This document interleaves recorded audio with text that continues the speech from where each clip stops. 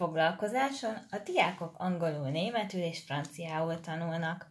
Arányuk 10 aránylik a 7-hez, aránylik a 3-hoz. Összesen 40-en vannak. Hányan tanulnak angolul, franciául és németül? Gyűjtsük ki az adatokat. Tudjuk azt, hogy az angol úgy aránylik a némethez, ami úgy aránylik a franciához, mint ahogy 10 aránylik a 7, aránylik a 3-hoz. Tudjuk azt, hogy ezek bizonyos részek. Ez azt jelenti, hogy ez 10 rész, a hetes az azt jelenti, hogy 7 rész, a hármas pedig az, hogy 3 rész. Akkor meg tudjuk azt mondani, hogy összesen hány részünk is van. Tehát összesen összeadjuk, hogy 10 meg 7 meg 3, ugye 10 meg 7 az 17, meg 3, az 20 rész.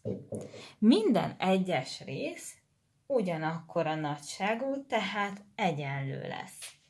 Tudjuk azt, hogy az összes, vagyis a 20 rész, az ugye a 40 lesz. Akkor ki tudjuk számolni, hogy mennyi is lesz egy rész.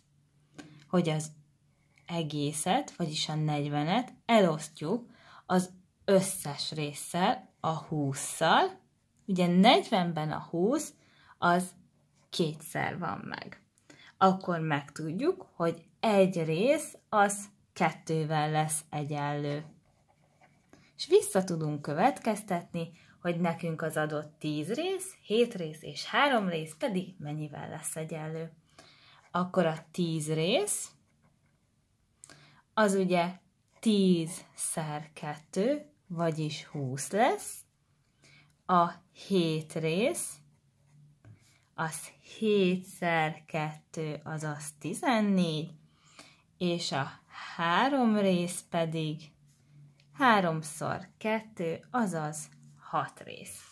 És akkor válaszolunk a kérdésre. Ugye az volt a kérdés, hogy hányan tanulnak angolul, franciául és németül, akkor angolul volt a 10 rész, tehát angolul tanul 20 fő, németül volt a 7 rész, tehát németül 14-en tanulnak, és franciául volt a 3 rész, azaz franciául pedig 6-an tanulnak. És ha össze akarjuk adni egy ellenőrzés miatt a számokat, akkor ugye 40-et kell kapnunk. 20 meg 14 az 34, meg 6 az 40, tehát mindenképpen megegyezik, és az ellenőrzésünk is stimmelni fog.